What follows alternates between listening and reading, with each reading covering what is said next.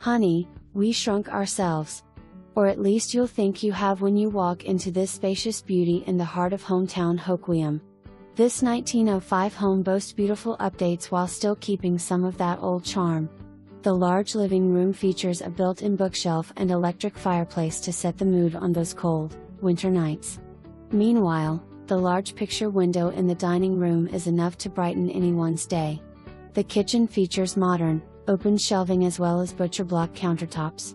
The primary room comes equipped with a five piece bath and a double vanity. Phew, that's only downstairs.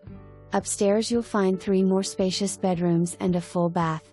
The only thing this home is missing is you.